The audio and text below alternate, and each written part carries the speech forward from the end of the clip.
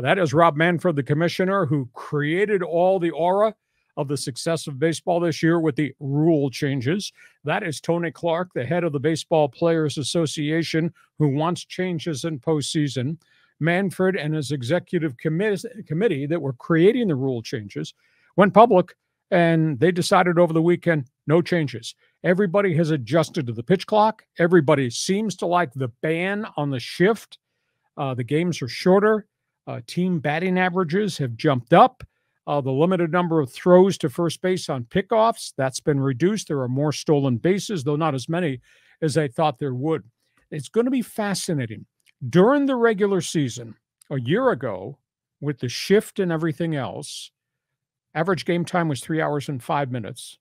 Team batting average for all of baseball with the shift was 242. This season, time of games, two hours, 39 minutes. Wow. So it's a, like a, what, 20 plus five, 25 minute increase uh, or decrease mm-hmm. in amount of playing time. Team batting average is up to about 250. So it's eight points higher than it was okay. a year ago. So a lot of stuff has changed there. Now, the big challenge, and we like postseason baseball, but I will tell you, playoff baseball last year, average game, three hours, 32 minutes. Hmm. So they're keeping the rules in place.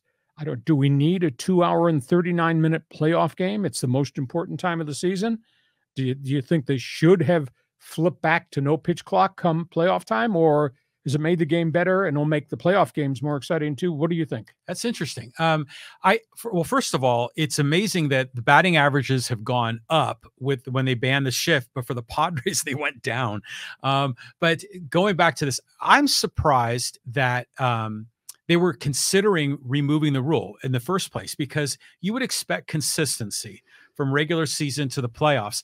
And especially um, you know the other factor here is we were thinking they were going to you know go back to the old rule. So they wanted three and a half hour games because there was more tv revenue and advertising dollars that they could get.